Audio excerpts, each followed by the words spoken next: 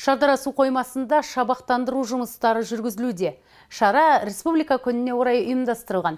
Бүгінде мемлекеттік тапсырыс аясында 950 мың бас балық шабақтарын салу жоспарда. Шағалалы Шардарада бұл кәсіптің көзі болса, оны жүйелі жүзеге асыру жолын тапқан азаматтар жетерлік. Осы тұста мемлекет басшысы жолдауда жүктелген міндеттерде жүйелі жалғасын тауып келеді. Толығырақ шабақтандыру жұмысына куә болып қайтқан тілші тарқатсын. Республика күніне орайласқан шараға су инспекциясының мамандары аудан ақсақалдары арнайы қатысты. Ондағы мақсат суға салынатын балықтардың талапқа сай келетініне көз жеткізу. Президент Қасым Жомарт Кемелұлы Тоқаев халыққа жолдауында балық шаруашылығының 2030 жылға дейінгі жоспарын бекіткен болатын. Осылай балық шаруашылығына ден қойылып, мемлекет тапсырысымен ауқымды шабақтандыру жұмыстары жүйелі жүргізіліп келеді. Осы тұста Шардара балыққа бай өңір деп тоқталған аудан ақсақалы балық шаруашылығын дұрыс бағытта пайдалану жастардың ісі дейді. Қазақстан Республикасының егемендік декларациясының жарияланғаны 20 қазанның 25 күні республика күні деп ұлттық мереке болып жарияланған. Сол ұлттық мерекенің қарсаңында мынау қамит селолық тұтынушылар кооперативінің тоған шаруашылығы өсірген шабақтарды теңізге жіберу іс шарасымен осында келіп отырмыз. Міне қамит селолық тұтынушылар кооперативі мына тоғанда сонан кейін тордың ішінде де балықтарды өсіріп жатқан аудандағы бір іргелі шаруашылықтың бірі қазақстан республикасының президенті қасым жомарт кемелұлы тоқаев өзінің жолдауларында кешегі соңғы жолдауы әділетті қазақстанның экономикалық бағдарында ауыл шаруашылығын дамыту оның үстінде балық шаруашылығын өркендету мәселесіне үлкен көңіл бөлді.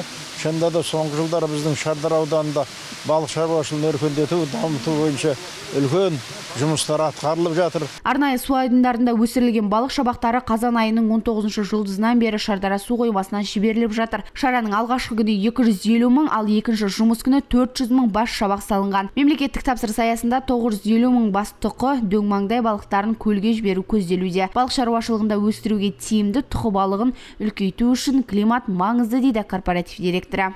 Бүгін бізде республика күніне қарсы үлкен іс шара өтіп жатыр. Бұл іс шараның негізгі мақсаты мемлекеттік тапсырыс орындаудағы мақсатымыз. Яғни осы біздің ауданымыздағы спк хамид тоғандарымыздағы жыл бойы бағып өсірген балық шабақтарымызды мемлекеттік тапсырысқа сәйкес осы біздің шардара су қоймамыздың су айдынына жіберіп жатырмыз. Бүгінгі таңда біздегі мемлекеттік тапсырыс төрт жүз мың бас тұқы балығы және бес жүз елу мың бас тоңмандай балығы уже бүгін он тоғызыншы қазаннан бастап іс шара жүріп жатыр. Бүгінгі күн таңда бізде екінші күні болып жатыр. Екінші күнінде біз уже төрт жүз мың бас төрт жүз мыңға жуық тұқы балығын толықтай жіберіп боламыз бүгінше.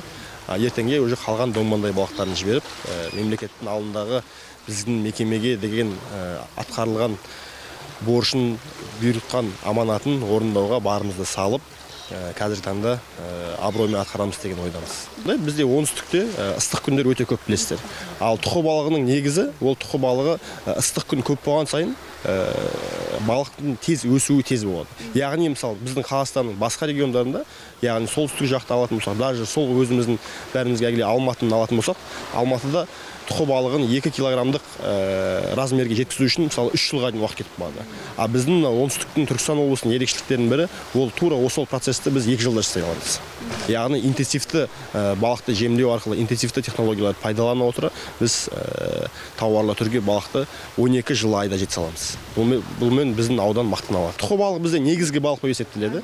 Бірақ одан бөлек те біз бекіре секілді балықтарды одан бөлек доңмаңдай балықтарды одан бөлек ағамур балықтарын өзіміздің шаруашылықта тудырып өсіре аламыз 20 граммдық тұқы балығы тексеруден өтіп арнайы контейнерлерге салынады. Осылай жағаға дейін тиісті талапқа сай жеткізілген шабақтар табиғи ортада да тез өсіп өнетініне сенім мол. Шардара су қоймасын 400 мың